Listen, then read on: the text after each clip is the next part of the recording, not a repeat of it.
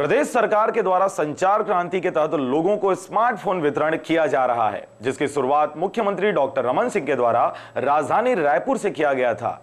जिसके बाद से शहर व नगर पंचायतों में, क्षेत्रों में इसकी स्मार्टफ़ोन का वितरण किया गया था।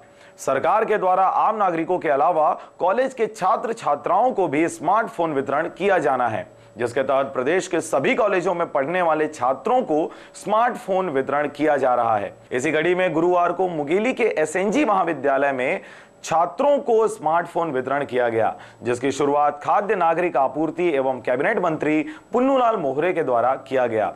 एसएनजी कॉलेज में कुल आठ छात्र छात्राओं को मोबाइल वितरण किया जाएगा।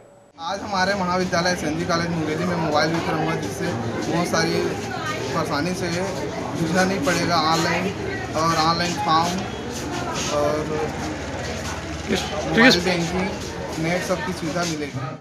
शासकीय एस महाविद्यालय मुंगेली में आठ छात्र छात्राओं को मोबाइल वितरित होना है। आज 28 तारीख को 433 बच्चों को मिलेगा और कल फिर 433 बच्चों को मोबाइल वितरित किया जाएगा।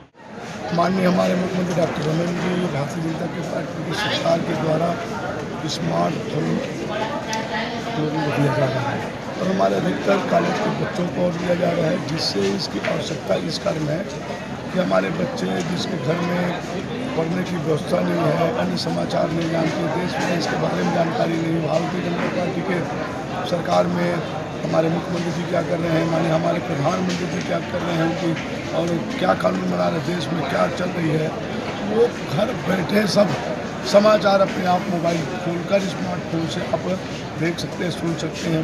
फिल्मी दुनिया में क्या हो रहा है और फिल्मी दुनिया में हमें कैसे हीरो हीरोइन बनने हैं, हमें इंजीनियर कैसे बनने हैं, डॉक्टर कैसे बनने हैं प्रिंसिपल कैसे बनने हैं, यहाँ तक के एस कैसे बनने हैं, कलेक्टर कैसे बनने हैं और इंजीनियरिंग क्षेत्र में कैसे आने टेक्नोलॉजी हमारी क्या व्यवस्था होगी? ये कंप्रोमाइज में देख कर कंप्रोमाइज से हम क्या सीख सकते हैं? घर बैठे इंजीनियरिंग करना घर बैठे टेक्नोलॉजी को जानना बच्चों को आवश्यक है।